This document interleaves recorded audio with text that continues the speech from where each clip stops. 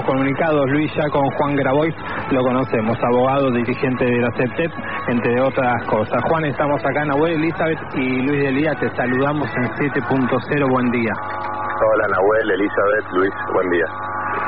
Buen, día. Juan, ¿cómo estás? Acá andamos, sí, en la lucha. Bueno, eh, ayer fue una jornada de definiciones, hubo pedidos de la fiscal claros en el tema este, que se está ventilando en la causa que nos ocupa en tribunales. Eh, ¿Cuál es tu, tu decodificación, Juan? a ver, una primera reflexión. El alegato fiscal tuvo dos partes claramente diferenciadas que se escribieron en dos momentos distintos. Uno se puede dar cuenta no solamente por el contenido, sino por el estilo de la redacción. Una fue escrita a la luz del debido proceso y el derecho penal, que fue la resolución absolutoria de mi pupilo Lito Borelo y del otro del otro imputado que era Albor. Y otra que se escribió a la luz de los resultados electorales del domingo. Es absolutamente evidente que fue la resolución eh, tuya, digamos, ¿no? Eh, con una con una carga ideológica eh, y con una cantidad de prejuicios que serían el hazme reír de cualquier tribunal serio en cualquier lugar del mundo. Con independencia de, de, este caso puntual, yo siempre he dicho, si hay una cueva de ladrones en la Argentina, se llama Comodoro Pi, eh, y que es un, grave problema para la democracia en nuestro país, que la justicia federal está manejada por una verdadera banda de, delincuentes, eh, como los que eh, cada día se sientan a jugar desde ahí, ¿no? que son oficialistas de todos los gobiernos, porque son oficialistas ahora, en gran medida fueron oficialistas antes, y en general responden a sus intereses corporativos y personales. Pero lo de ayer, eh, de alguna manera, quebró cierto límite porque esta fiscal era de la línea, si se quiere, progresista, eh, y sus argumentos y los prejuicios de clase con los que, por un lado, eh, enaltecía, ensalzaba la protesta de las patronales y la oligarquía rural durante el conflicto de la 125 y por otro lado demonizaba la protesta de los vecinos de La Boca eh, después de la muerte del asesinato de, del oso cisneros, ¿no? Es como, son como dos, dos causas espejo que son las dos imputaciones que te hicieron a vos, eh, porque las dos muestran situaciones en las que un determinado sector de la sociedad, con su propia cultura, con su propio modo de ser, con su propio lenguaje, sale a manifestarse frente a una situación que considera que atenta contra sus intereses. Cuando los sectores populares salen a manifestarse contra el asesinato de un compañero, bueno, son violentos, tienen características, etcétera. Y cuando los sectores más acomodados de la sociedad salen a protestar por eh, una situación impositiva, eh, son carmelitas descalzas que eh, por la sola presencia de algún morocho de la matanza huyen despavoridas y eso constituye una intimidación pública. Entonces, eh, muy, muy, muy prejuicioso el planteo. Eh, desde luego, en ese alegato, la fiscal no estaba juzgando hechos, es lo que jugamos en la Argentina. El derecho penal es de acto, no de autor. Lo que estaba juzgando era Luis Delía. Estaba juzgándote a vos como persona y desde la Revolución Francesa para acá, el Estado de Derecho se basa en una, en una idea fuerza, que es el Estado no puede juzgar la moralidad de las personas. No puedo decir que te voy a imponer una pena porque me caes bien, porque me caes mal, porque sos un negro de mierda, porque sos un piquetero, porque sos un chorro kirchnerista, corrupto, etc. Entonces los adjetivos son del plano de la política, de la chicana, de, ¿no? de la discusión eh, interpersonal, en el plano jurídico lo que importan son los hechos. Y acá no se probó ningún hecho. Y yo te decía ayer, Luis, eh, nosotros nos conocimos en el juicio, eh, nunca militamos juntos, yo hay muchas cosas que vos has hecho con las que no estoy de acuerdo, pero acá te están jugando por tu participación en dos protestas totalmente legítimas. Eh, en algún punto diría, sobre todo en el caso de la comisaría heroica, porque gracias a esa protesta se logró aprender a un narcotraficante eh, a sueldo de la policía corrupta de la Boca, que efectivamente asesinó a El Oso Cisneros, por lo que efectivamente cumplió una pena de prisión de 17 años.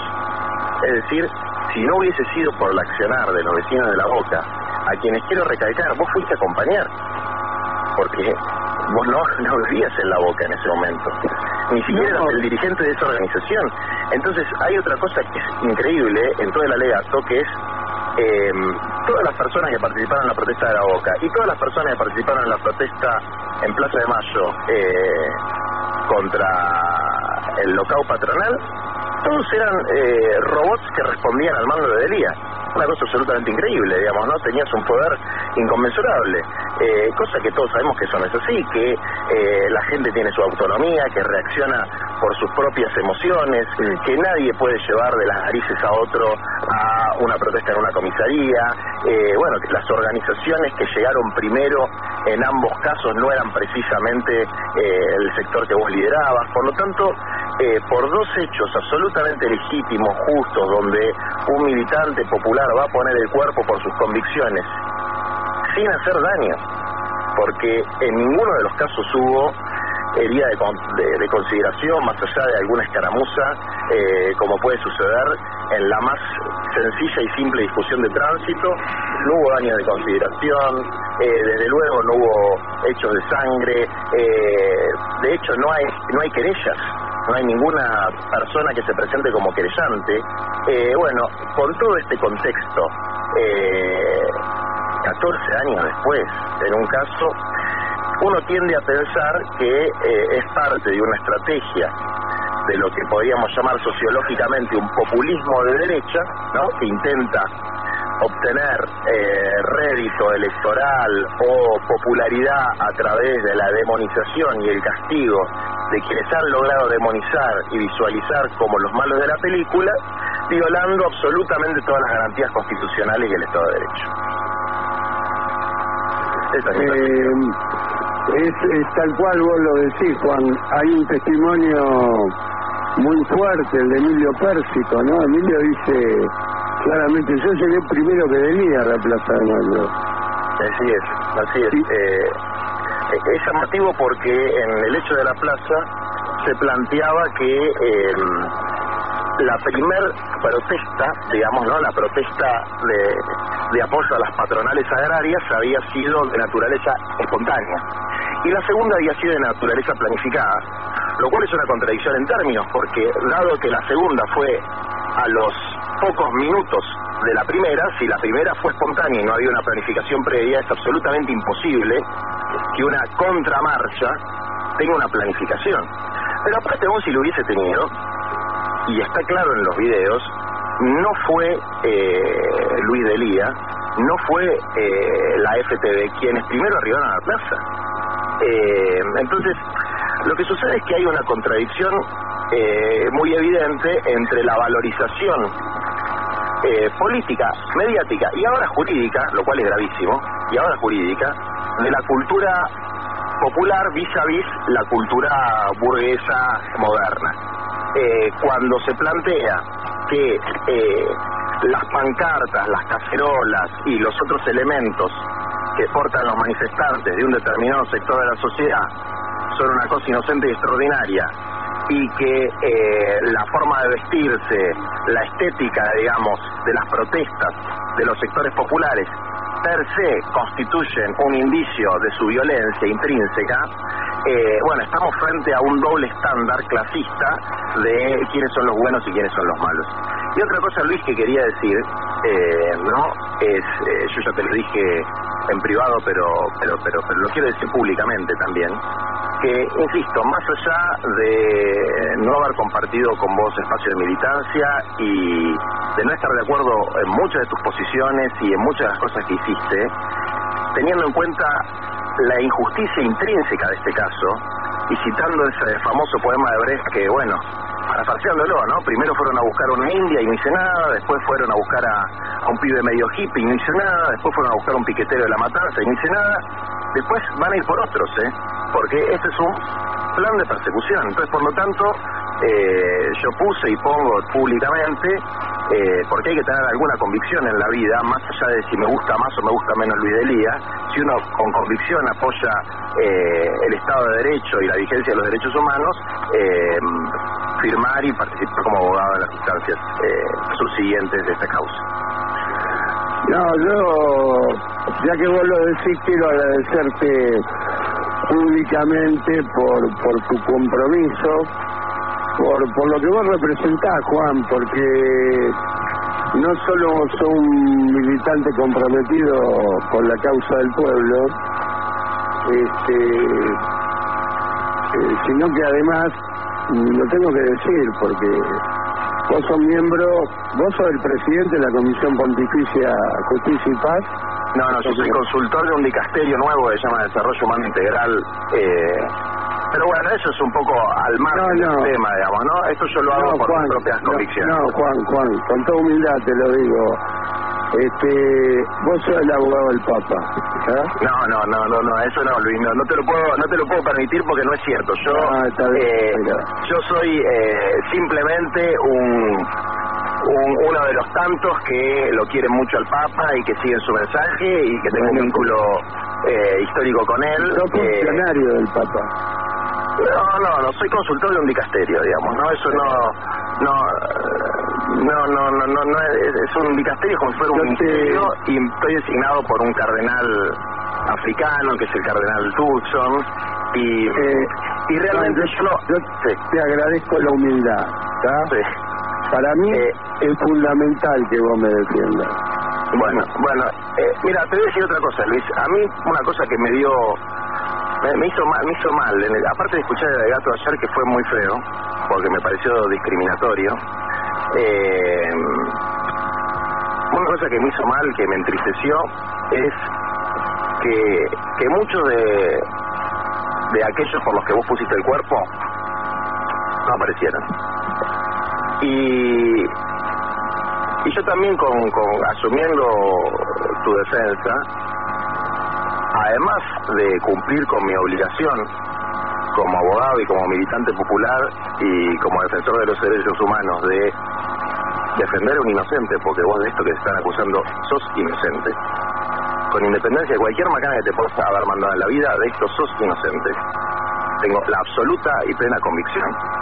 Pero además de eso, hacer un, dar un mensaje tal vez a otros que funcionan de manera oportunista, ¿no? Cuando el, cuando te va bien somos amigos, cuando te va mal eh, te dejo tirado.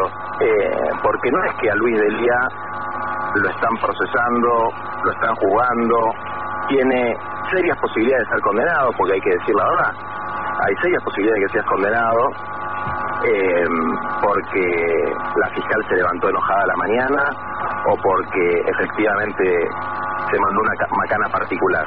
No, no, fue por militar en el marco de un proyecto político. Y eh, que quienes tienen mayores responsabilidades políticas dentro de ese proyecto, eh, que no fue el mío, que no fue el que yo elegí, porque yo no elegí ese proyecto político, ¿no? Eh, bueno, que esas mismas personas no, no pongan la cara, no pongan la cara en dos hechos que, insisto, sobre todo el de la Plaza de Mayo, para decirlo de alguna manera, que fueron reivindicados por el propio Néstor Kirchner en ese momento, que fue a la plaza. Que no pongan la cara para, para defenderte, para decir efectivamente hubo un, un momento de desestabilización institucional. Efectivamente eso no fue ir a desalojar una plaza, sino fue una contramarcha que es tan democrática como la primera. Y la primera marcha era democrática, la segunda también lo es. Eso no lo digan eh, quienes por ahí tienen la posibilidad desde la Cámara de Diputados, desde la Cámara de Senadores, desde lugares institucionales, desde lugares de prestigio político, que eso no lo digan ellos, escudándose en, en qué es más importante, ¿no? El rédito electoral, cuidar la imagen, bueno, cuidarse el culo, para decirlo vulgarmente, eh, habla mal de ellos, habla mal de ellos, porque mm, no hay que soltarle la mano a quienes pusieron el pecho por uno eh, en, su momento de dolor, en su momento de sufrimiento, en su momento de, de, desesperación. Sobre todo, insisto, porque no es que te están jugando acá porque mm, te llevaste 50 bolsos con un millón de dólares cada uno. Te están jugando por protestar después del asesinato de los ocineros y por ir a defender eh, una medida impositiva del gobierno del cual eras parte, eh, por una medida impositiva que afectaba los intereses de, un sector económico privilegiado, para decirlo de alguna manera.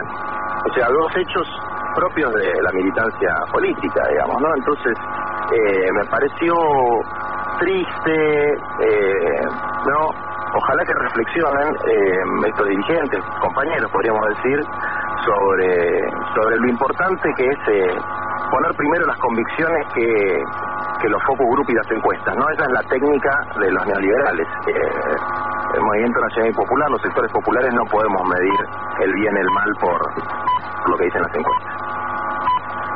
Bueno, Juan, eh, yo no, no tengo otra cosa que, que agradecimiento eh, para con vos, reconocimiento y sé que el lunes a las 12 del mediodía, antes de que empiece el alegato a Adrián Albor, te estaré nombrando como defensor adjunto en lo que resta, en las instancias que restan del juicio y bueno, creo que eh,